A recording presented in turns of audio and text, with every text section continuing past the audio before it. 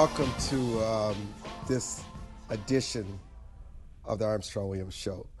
You know, for the first, for the next half hour, we're going to really have a discussion about the U.S. economy, from banking to healthcare concerns, looming um, recession, and the volatile stock market. And what we decided to do today is invite very successful entrepreneurs to join us today, entrepreneurs that have built multi million dollar businesses. There seems to be a mindset in this country today that if you're wealthy, um, people cringe. But what we forget about the business class is they take the risk. They create jobs, security, health care. They take care of their employees, and we should celebrate their genius instead of envy it. So let me welcome Evan Charles, who's the founding and managing principal of Frontier Development and Hospitality, and also joining us again, Gavin Sariol, who's the founder of, of Crypto, and we welcome them both back to the broadcast. Let me let me let me start with you, um, Garrett, uh, on on on my Zoom. You know, there's always this economic pessimism that exists with inflation, Gary. Why is that? And how do you how do you get people not to become pessimistic uh, about their daily routine as we keep having these different mixes about inflation? We just heard recently the GOP presidential candidates all agree that the Fed chair would be fired if they were if they if they became president of the United States. That sends a very uh, interesting message to the consumer.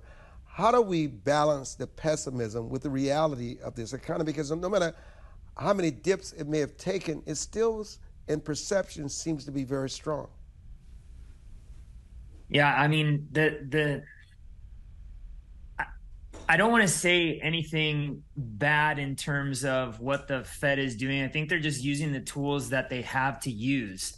And while you know people may sit there and and uh, just really talk down on uh, Fed Jerome Powell, um, I think that's what they've done for ages. And I don't care if it's been a Republican or a Democrat. And I know that you know I was watching the the Tucker uh, with uh, uh, Trump yesterday on X, where you know he's saying, well, these these pri- these inflation numbers were much lower under me, but and I'm and I'm no Biden fan. I want to make that very clear, but a lot of that money printing caused the inflation, and so they've they've had to use the tools that they had accessible to them, which you know in a fiat currency system where they can just print unlimited amounts of money.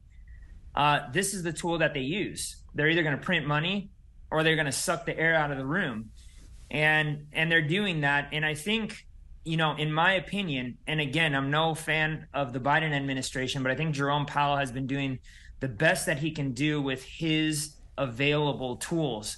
What would somebody do differently? I don't know. I think I think honestly, Jerome Powell's really just taken a, a, a page out of uh, Reaganomics, and they're doing exactly what they did back in the uh, early '80s. And you know, in my opinion, and you and I have talked about this outside of the studio, Armstrong. I wouldn't rule the United States out, and I'm I'm a pretty hardcore crypto guy, but you know these these guys do know what they're doing. They they do know they understand their fiat currency but there is a lot of different things this time but uh, let's see. I mean so far nothing has really broken so badly uh, to where it's it's caused a lot of grief a lot of unemployment but it may happen. Who knows? But i i think right now the the the the optimistic thing is nothing has really broken too bad and inflation, for the most part, has started to come down over the last seven, eight months. So I guess we're, we're going to have to see what happens. you know, there is one thing when you speak to voters that they all will agree, which is of great concern to them, and it's the growing cost of living. And I think what sometimes is missed in that, the impact that it also have on businesses. Some businesses to the point where they've had to shut down. So, Evan, when you think about um, the growing cost of living, whether it's gas, food, just just the basics to survive, how does one adjust, especially if they're not salary increases, they don't have that little extra that's coming in. They depend on one income, and yet prices continue to soar, but that salary remains the same. What needs to change for both the consumer and the marketplace? I mean, essentially. No, no, no, no, no, Evan. Evan. Oh, sorry, sorry, Evan. um, well, I mean, in the immediate, um, right now, in the immediate, the um, the consumer obviously have to make some some tough decisions from a from an expense standpoint and prioritize um, their expenses if salaries are not increasing and, and cost of goods are continuing to go up or so. So that's something that, that, that needs to happen on the consumer side. But obviously, from a um, on the uh, on the business side, um, you know, entrepreneurship as far as creative ways to continue to spur new um, economic growth through businesses and things of that nature to drive and, and contribute to the GDP. But um, as an entrepreneur, um, I'm feeling that the pain of, of increased labor costs and increased costs of goods. Um, the inflation also works to our benefit in some degree as well, too, from a standpoint of higher rates in the hospitality industry that we can charge um, that hopefully can transcend to um, wages and people being able to afford um, you know, the, the, the higher cost of living today. But right now, it is a uh, it is an issue. David, how should people read the volatile stock market? I mean, again, what why is there volatility in the stock market? It's because the Fed essentially keeps playing the interest rate like uh, like your favorite CD, and and what they did is they sucked all of the air out of the room. Um, actually, let, let, let's put it this way. Think of it, you're going, you know, 80 miles an hour down the highway, and all of a sudden a, a brick wall pops up. That's essentially what happened. The the 80 miles per hour was the 40% of the entire cash supply that we printed during 2020 and 2021 uh, both, again, Trump and Biden uh, printed massive amounts of money, lowering interest rates down to 0.01%, and then increasing the interest rates to where it stands right now. I think the, the federal rate is at 5.5%. That's a 5,500% roughly increase in interest rates. And so, what's that going to do to to high risk assets? Well, people are going to think much differently about investing in the stock market. And we're seeing that today uh, in the stock market right now. NVIDIA had smashed, they smashed their, uh, the, all the numbers that they were projecting. And uh, and still the stock market is down, and their their stock is only up like one point some percent, which is great for a company like theirs. But in any you know in a in a more healthy environment where there's more liquidity, you probably would have seen Nvidia go up by five to ten percent and so right now, people are on edge because what happens if the Fed raises interest rates again? Well, that affects everything in terms of speculative investing, such as real estate, the stock market, all that stuff. So you got to really, you got to really be paying attention to what the Fed is doing. And a lot of people got caught off guard because we haven't seen this for 40 years, right? like I was stating before, eh, since the Reagan administration. And so if the Fed keeps hiking, most likely the stock market is not going to uh, keep going up or it's going to keep yo-yoing up and down and it's going to really play with your uh, with your emotions in my opinion. Evan let's address healthcare costs and insurance companies when people invest so much in their insurance policy and then when they finally need their insurance policy to pay for them uh, the insurer will tell them well you don't qualify. Uh, we don't necessarily cover that. What do we do about these looming healthcare costs in this country, which is having a devastating impact on everyday people's lives?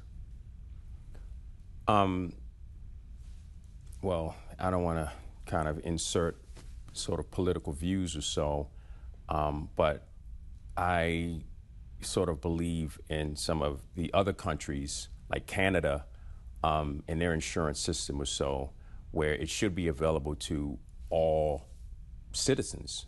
Um, but you know, being though our insurance sector um, is in the private sector or so, and there's a lot of different elements that creates the cost of insurance to go up and the and the coverage to go down. I mean, there's it's it's, it's a very serious issue.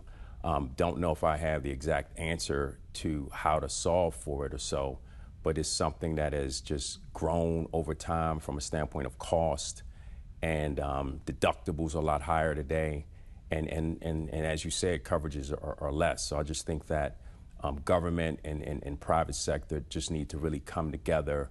Both sides of the aisle just really need to focus on how to bring, um, you know, a, an adequate solution uh, to this issue. Let me let me stay with you. Um, you know, we all have read the reports where the younger generation don't feel they want to own homes; they want to rent because they don't have the responsibility. I just think that someone is giving them misguided information because they're going to still pass along all their expenses to you. They're going to get the tax write off, and you're going to probably pay more in rent per month than you probably pay at a mortgage. I, I just think there's a, a lot of financial illiteracy in this country that is not addressed, and young people just don't get the right information. Because one of the first lessons my father ever taught me as a kid, he said, Boy, they're not making any more land. Own yourself a piece of America. And the best way to own a piece of America is home ownership. And once you get that home ownership, get yourself an investment property. He said, by the time you're in your 30s and 40s, boy, you're going to be doing pretty good. We're going to discuss that on the other side of this break when we come back. I'm Armstrong Williams.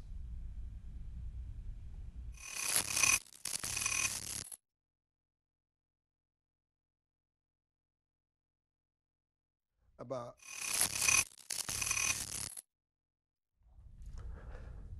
So, Evan, let's tackle the housing market. And is there a housing crash looming? And also, talk to this younger generation renting versus owning.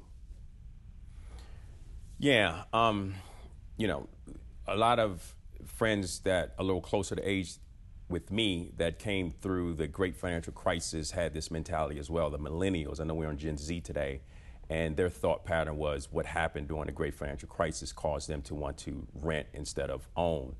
Um, but just as you said, um, Armstrong, that it's just been a misinformation from a financial literacy standpoint. Um, there's nothing like um, owning real estate compared to, to renting. All you're doing is, is, is helping someone else um, live their dreams and creating residual income for someone else. But from a standpoint of, of owning, you get the benefit, obviously, of the appreciation. Um, you get the uh, the deductions from interest that you pay. Um, and I mean, that's how you, you build wealth. If you look at the number one source of, of wealth in this country for people is in their is in their homes or so.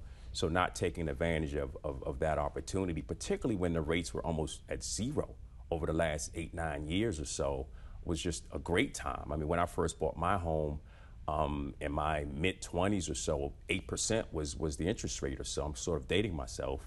But um, but it's just I cannot imagine how anybody can can provide guidance to to to to rent versus versus home ownership. I mean, that is the number one way to create wealth in this country. Javea, I know you want to comment on this topic, so go ahead. Yeah. So, see, I, I kind of share a, a different opinion. Um, I think that it is about uh, educating people. Uh, but at the same time, you got to realize this Wall Street is on a tear buying real estate right now. Why?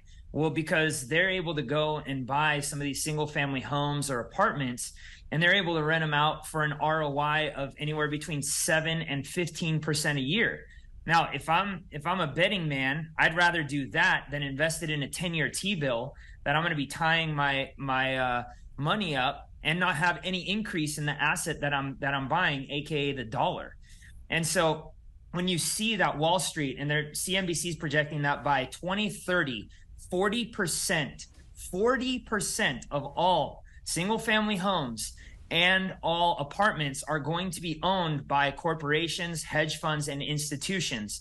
And so this is really pricing out a lot of people from buying that. And that's why this is one of the main reasons that even though interest rates have gone up, that the supply has remained super duper low because Wall Street's just going in and raking this stuff up. In Texas last year alone, they bought 30% of all of the single family homes. And so that's no that's no number to to turn a blind eye to. So what I would say is this.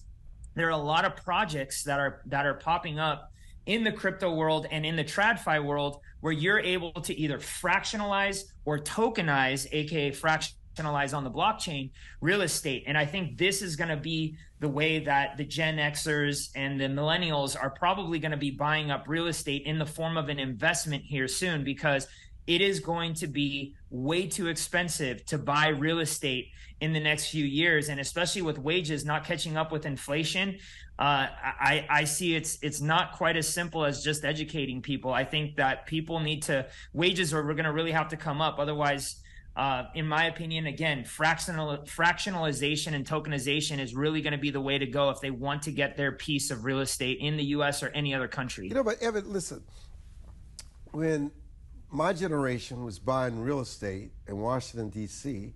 in the '80s, interest rates were 13 percent. 13 percent. So it, every decade has its challenges when it comes to this. But is there a reason to tell kids you're not going to be able to afford it? Uh, is that the answer? Um, so let me just give you a, a, case in point to your point. Um, my mom purchased her home in, in Petworth in D.C. for fifty thousand in 1980. Her interest rate was 14 percent. She didn't know any better. In 2004, I refinanced and I realized that she was paying 14 percent for what's that? You know, over 20 years. Oh wow! Right? Um, but fortunately, today her home is worth you know, close to nine hundred thousand dollars. So all of that appreciation that she gained, and you know, we didn't know that Petworth would be a a, a, a neighborhood that would be gentrified twenty something years ago. But but look at that story. You know, at the end of the day, you know, my mom is is retired and she owns her home free and clear, and you know, she's practically a millionaire. Yeah, but wait a minute. You also said something very important. You were able, because you were educated, not saying your mother's not, you were able to look at her mortgage and realize we can refinance this. Absolutely. We can do better. So even still, that's a moment, the financial literacy that people need to educate themselves. Let me, Javed, what is the difference between cryptocurrencies and central bank digital currencies, CBDCs? Well, all cryptocurrencies are programmable money. So CBDCs are programmable money that the government is basically pumping out. And I think that there's just this big fallacy that the government's saying, well, you don't want to be in cryptocurrencies, you want to be in our country backed or central bank digital currency because, you know, you can trust us. But the problem is, again, if they have the ability to just keep printing money and sucking money out of the equation, uh, there's there's a there's a massive issue with that. And so cryptocurrencies, though, the actual cryptocurrencies, the ones that originally came out, such as Bitcoin, Ethereum, are decentralized currencies. And this means that there is no government intervention. They cannot come and stop the Bitcoin network from working as long as there are Bitcoin miners or nodes along the world. They cannot stop the Ethereum network as long as there are Ethereum nodes around the world processing transactions. Where with CBDCs, they can control that. But, but, but, say, how, but how do these CBDCs differ from the traditional fiat currencies? They don't. The only thing is that the processing time is much faster. And that's again the fallacy that the government's coming out and saying, well, you know, this is great. This is, this is, uh, they, they basically put lipstick on a pig. And the problem is, is they're, they're going to be able to do the exact same things, which for me what I'm looking for is all right, what is that currency backed by? You know, we got rid of that in 1972 with with uh, Nixon going off the gold standard, but there's it's not backed by anything. Even though I will say this, the U.S. does still have the largest reserve of gold by a long shot. I mean, they've got the most amount of gold, but it's still not backed. We cannot redeem it for something.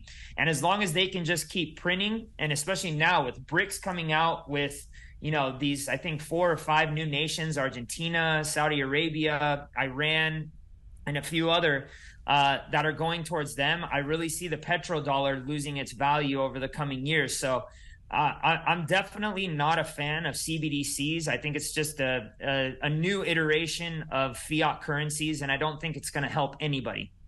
You know, um, Evan, for the last year, or maybe the last two years, the big R word has sort of petrified people. Some say we are in it, some say we're not, some say we're going in it. Do you believe that a recession is looming? Um, I guess we've been uh, asking ourselves that question for all of 2023, and we've been predicting that that it was it has been looming. Happy to see um, inflation starting to settle, and as an entrepreneur, we are just optimi- optimistic by nature so in, in deals that we're looking at, you know, we're, we're sort of anticipating that rates are going to stay flat and hopefully eventually come down.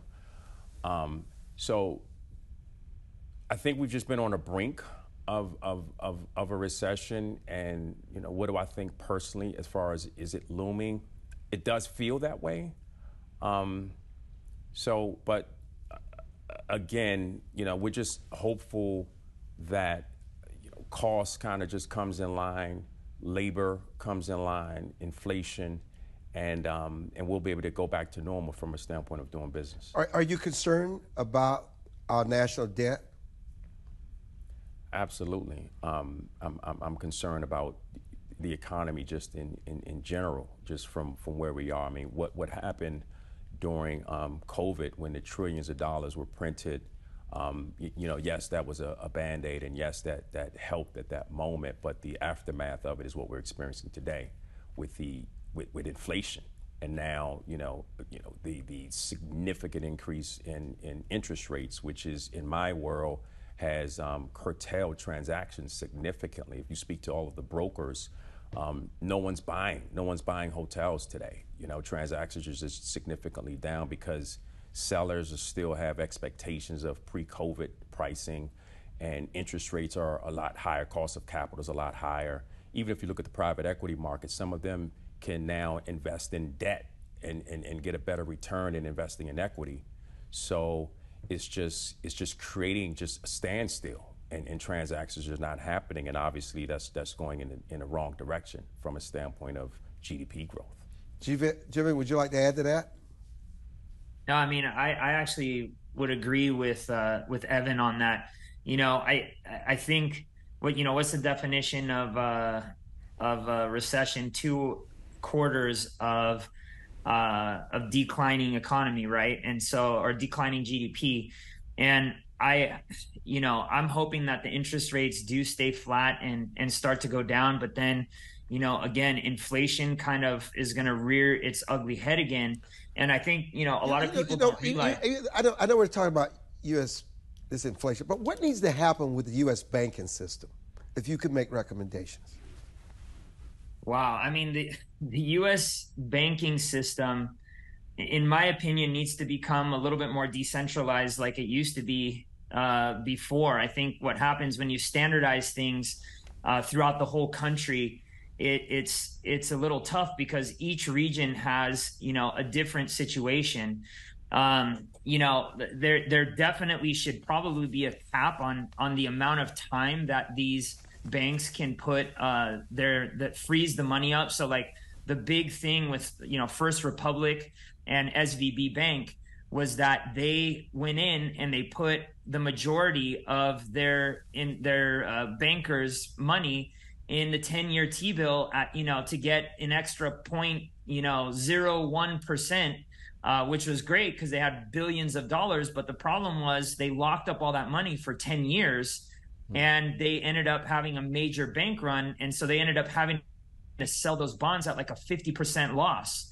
Um, and so that's that's that was the major issue with those banks, and we've got 700 and some banks in the same predicament right now. So I think there has to be a law or some regulation that comes out that says, "Hey, look, these guys definitely need to keep their money more liquid, and they cannot just keep, you know, trying to go for these long-term investments, locking up money. Because if somebody wants their money, they need it, and we need let to me, make sure me, that let me, are let solvent. Me, let me interject this before I say goodbye, because I want to give Evan the last word, but it includes both of you.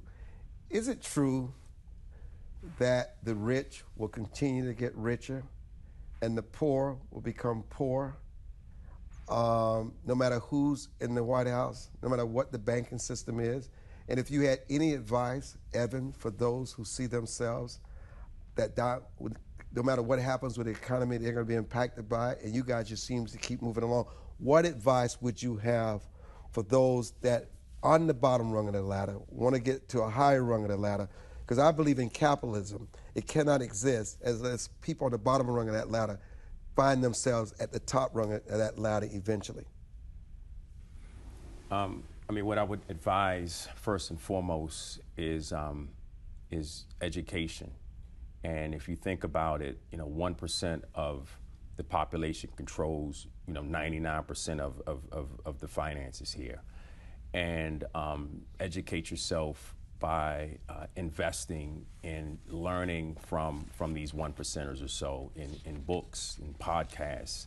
And you have to change the way you think because the, the status quo and the way everyone else thinks is the same from a standpoint of just um, being an employee, living check to check, and things of that nature. And, and the real answer to creating wealth is when you can have money work for you and you don't have to exchange time for money. So educating yourself on how could you implement and learn how to create residual income in your life. And, and obviously that, that, that, that takes some, some element of risk, um, some element of creativity, but education is where it starts. And one thing that you can't teach is ambition and hard work and someone that just creates good habits where you're just going to remain consistent and you're going to just pursue um, what it is that you're trying to do. And that's not normal. You have to be abnormal. You have to be unlike everyone else. And you have to think unlike everyone else if you want to be unlike everyone else. I like that. I want to thank Given and Evan both for joining us. Did you know the IRS is going paperless and how that will impact you? That's up next on this edition of the Armstrong Williams Show.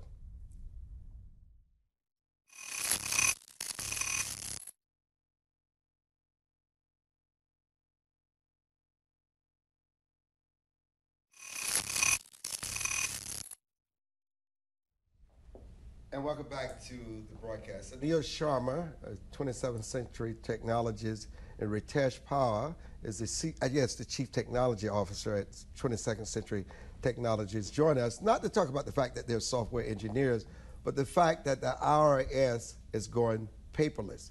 Uh, talk about what it means, because sometimes, you know, um, I get emails saying, would you want your statement sent paperless?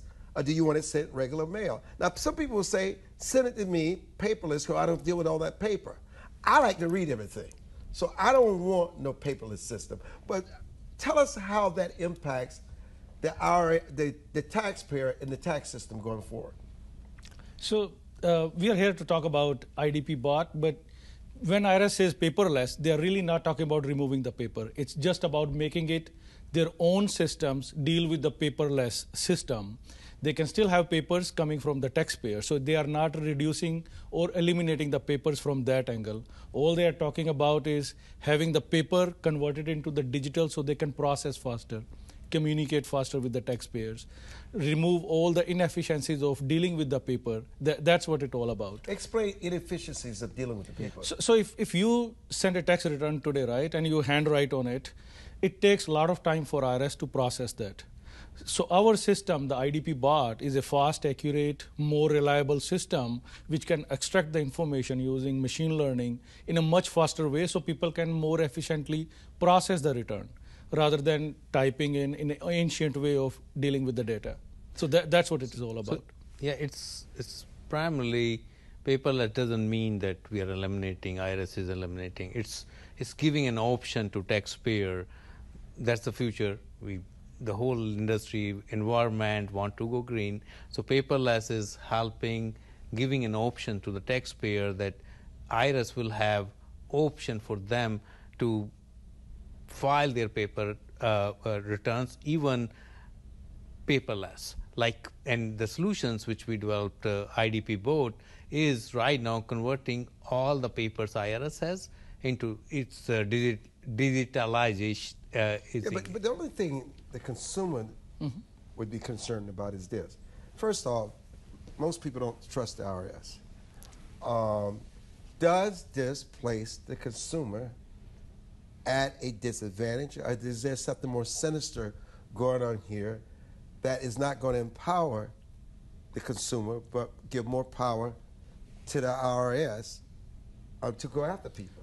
No, I, I, so definitely there is no change in the business. All you can think of this if you had sent a paper and you were looking for a refund from IRS, right? For example, it might have taken three to four weeks how your document is processed, right?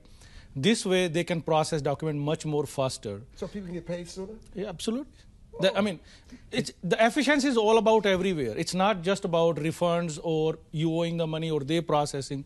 It's about making the system much more faster. That, that's about it. more it. efficient. More, more efficient, efficient, more faster, more and, accurate. And like the data, uh, the IRS recent data says that when a normal person on the call, when they reach out to IRS, is over 30 minutes, and when they get on the call, they don't get answer because the person on the other side does not have that data on the system. So what this is going to make it, even if they get in the paper, it will be much faster system available on the online because if if I'm a taxpayer and I call IRS for a question, if they don't have my data in the system, it's lying somewhere on the paper, they cannot answer it. What this system or what IRS is going using our system is providing them flexibility that the the moment they get it, it reaches there and it automatically the whole so, data so, is available. So this will secure, ensure the security of the taxpayer information in a paperless system? A- absolutely, it's it's as secure as anything stored in IRS today. It's a it's, it's stored in the uh, uh government secure data. It's a FedRAMP uh, certified, which is the highest level of the cybersecurity. So it's, it's everything. There's nothing changed from the cybersecurity. In fact, every day it's get more secure. And and I want to add that it's not changing the way they are doing the business today. So the data is still there. It just takes more time right now to reach there. This way, it's reaching much faster. So the, the question I can hear someone mm-hmm. in their mind saying, so this is why they're justified 80,000 more IRS agents? So this system has nothing to do with that. I number just wanna, one. I just want to yeah, get that. Yeah, yeah. Okay. So, yeah. so th- this system has nothing to do with hiring more agents or doing that. Even uh, what we heard from Treasury saying that they are still going to keep the same level of audits and everything. So this is nothing to do with that. It's more so during the COVID, if you know, that paper filing was sitting in the aisles of IRS offices because they can't process. People are not in the office, right? So all those things boils down to how can we make the system more efficient? How can we get the data into the system for making decisions? How can we do more efficient workflows with the data for data analytics, things like that? But nothing to do with hiring more agents or doing more audits. It's not about that. But could this efficiency mean less audits or more audits on the taxpayer? I as Ritesh mentioned, the system we are providing is to increase the efficiencies, to increase giving them the data. It has this initiative from IRS has no direct relationship with the audits or getting more budget for those 80,000 auditors you said. Uh, that's this, this, particular solution and uh, initiative has no direct relationship with that. So here's what I'm hearing though. Mm-hmm. This is the, your system that you are delivering to the IRS. Yes. Your company will be operating this system. So our system is actually you created it. Yes, yes. Our, you created you created the software. So yep. our system we, we, are not envisioning just for IRS. It's it's a paper conversion into mm-hmm. digital mm-hmm. thing. Like we, you were talking like about digitalization of currency and all that, right? So it's all about digitalization. But at the same time, this can be applied to Social Security Administration, Veteran Affairs, USDA for the farm loan programs. So think of this that people's paper still has to exist in the market for many many decades. People gonna still love to hold their paper send the paper receive the paper right? This is more about creating the system data from the paper without much of human intervention. Extracting the information making better decision making more open communication with the taxpayers or the citizens or you know even for the banking insurance dmv you walk in you still have to fill in the paper and then somebody has to wait for 15 minutes until somebody's data is filled in and then they provide the service. So we, we are looking from that angle. So there is no doubt you're encouraging the American American taxpayer to embrace this paperless system. Absolutely, and this is this is bringing in innovation, i- using the innovation and efficiency for the American taxpayers. I mean, as I said, the data available after converting to digitalize, they can get access to any questions much much faster. They can get the support from IRS much faster.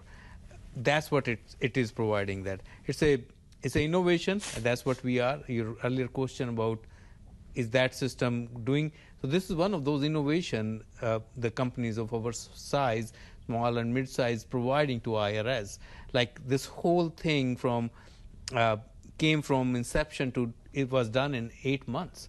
So wow. so the very fast the they call it irs pilot in uh, procurement from their acquisition to go live it was eight months.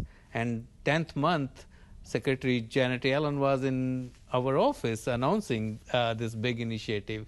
So think about it what uh, the innovation uh, can bring it to the government where uh, in some of the cases federal government spend billions of dollars to get such systems. And by putting these kind of innovations a- as i said in seven months we were live and uh, 10th month this whole initiative was uh, announced Well, tell us more about your your your company overall. yeah, yeah. so so i'll let Mr. yeah. mr nisham as a ceo so, talk about it Yeah. So, uh, thanks. 22nd century, we are a, a mid-sized uh, government-focused IT integrators, bringing the innovation uh, to the government agencies, federal, DoD, and state and local. Like solutions like uh, the what we develop for IRS, that's what we are producing for the digital transformation, for cloud transformation, IT infrastructure. That's what we have been doing it.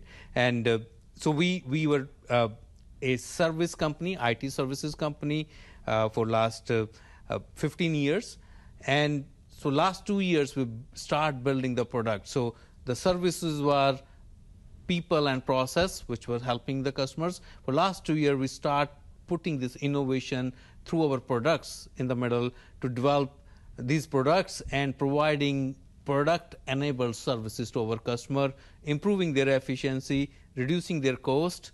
That's what we have been doing.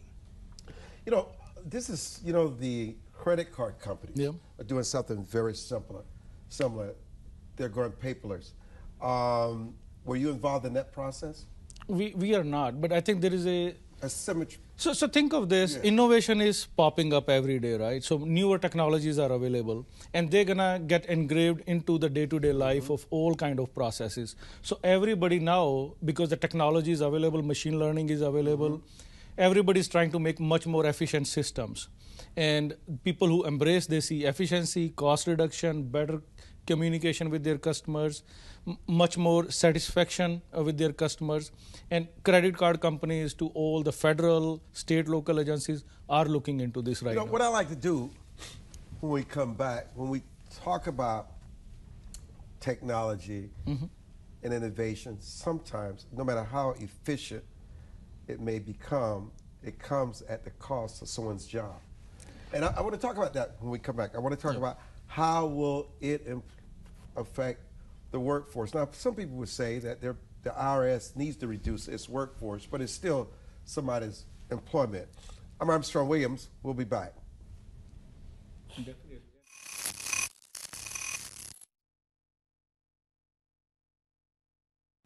Oh, Tito.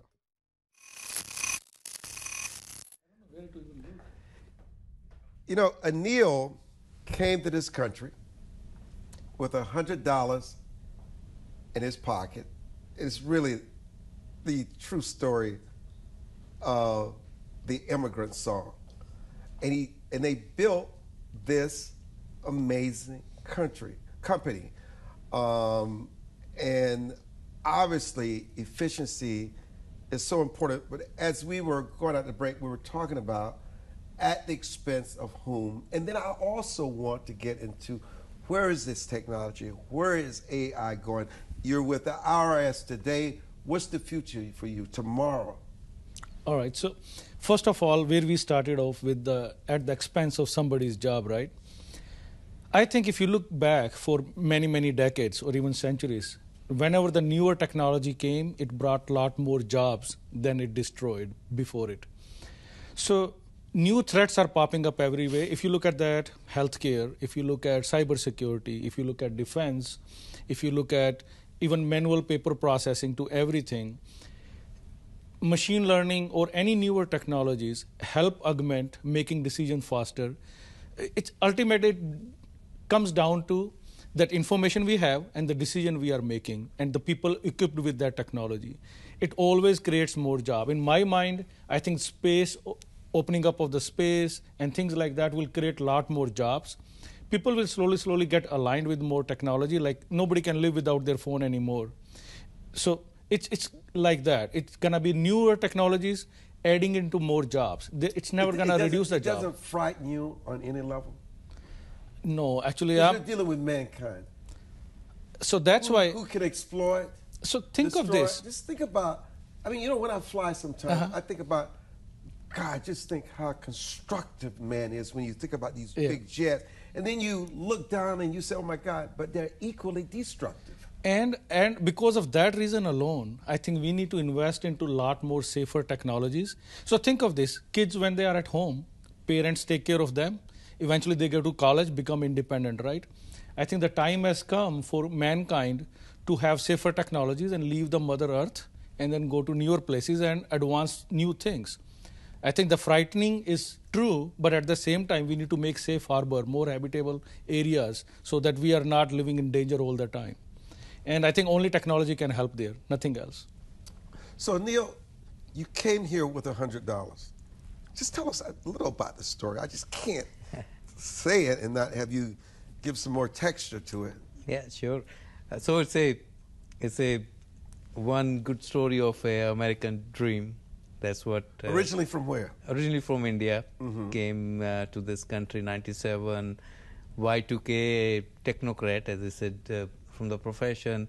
Y2K solving the technology problem. We always are on that ahead uh, through innovation another way, and uh, and when you came as an immigrant coming uh, here with the American dream, you have you have that drive. Uh, that I, I, still have that drive, and that passion for the uh, failure is not an option. Uh, and uh, all we want to do is work hard. And you know the thing about America, and, and you certainly can speak to this. Could you have built this so quickly any other place than America? that that's the beauty of uh, uh, this nation. It provides you the opportunities. The opportunities you have here in America are it, it cannot be compared anywhere. Of course, uh, in in our times when I came here, the overall the opportunities, the support system, the transparencies, that all combination is what make us successful. That's what we were able to build from from zero, as you said, $100 in pocket today, we are 450 million in size as a company. So, do, you think that this kind of technology, where it makes um, the IRS more efficient, what about healthcare? Absolutely. Uh, this kind of technology is healthcare is a big use case, and healthcare still use those paper. Think very basic example of healthcare. You go to a doctor, you sit there, fill the form, give it to the and they are still doing that manual. That's I'm giving a very raw example of one of the use case which we our system will solve.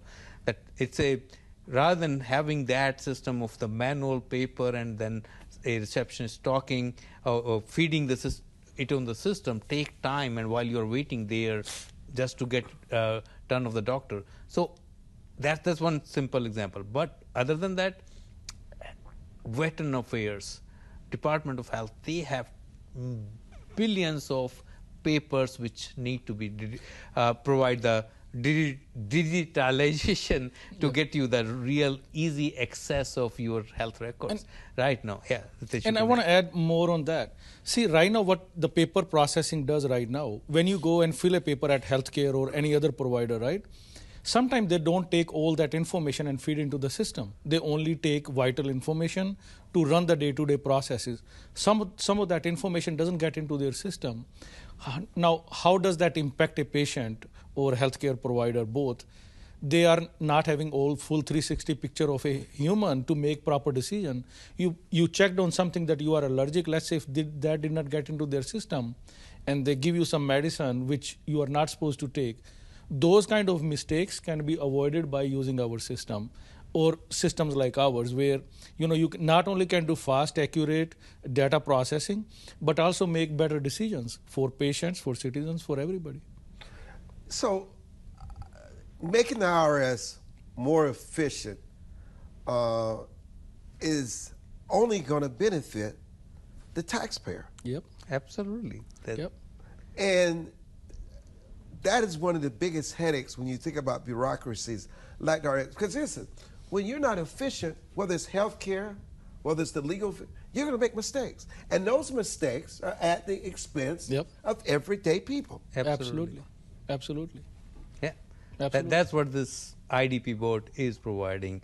It's an innovation we have created just to improve the efficiency of the government. What does it take um, in, in the laboratory to work out all the imperfections? I mean, when you mentioned this iconic, and I, I saw this iconic picture in my mind of you and the Treasury Secretary Janet Yellen standing together making an announcement. I mean, that is the the standard of credibility when the Secretary of Treasury, because you know they vet companies all around before they make a decision on whom they're going to give that contract to.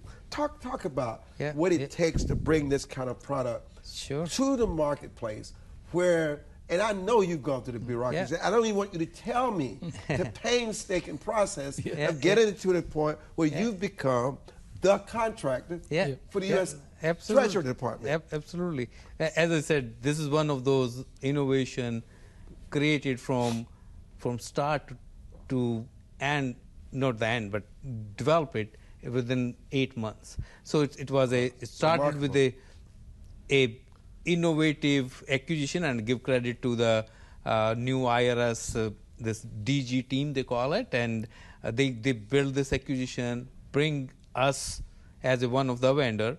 They picked up multiple of those. That was the, the model of acquisition.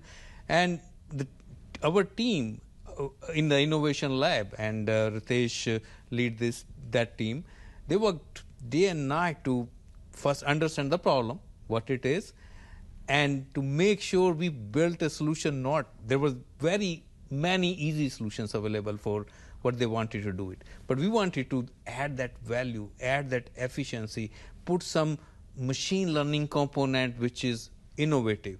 And and that process, of course, I will have Ritesh talk more on because he was leading the technology team, but they were working to make sure understand the problem. One thing, this process, as you said, testing and all, it was a iterative process working with IRS DG team as a partner. We were developing it, sending it to them. They're giving us feedback. Within 24 hours, we're coming the new release, developing it, and Ritesh, you want to? Yeah. Yeah. So, uh, as you said, uh, I really want to thank Mr. Harrison Smith and his team for creating this innovative vehicle for us to. Eight months. Yeah. Eight months. and and I'll tell you that when we met with them, uh, and all the business team we saw, we really saw the challenge in hand. We could see that how, body, how somebody could like take a paper which has like sometimes coffee stains, crumpled. I mean, you, you can name anything when they receive the paper. and taking that But- into but a what digital. You, what you're saying here, uh, more important than anything else, that should give us some comfort, is that agencies like the IRS wants to become more efficient Yep. to Absolutely. serve the American American people Yep. in a very efficient and effective way, uh, and that's why I cannot thank you both for joining us today, uh, because I, I'm sure when you talk about taxpayers and IRS, there's a negative connotation, but Yeah. today this is a good news story. yep, And thank you for sharing that good news with us.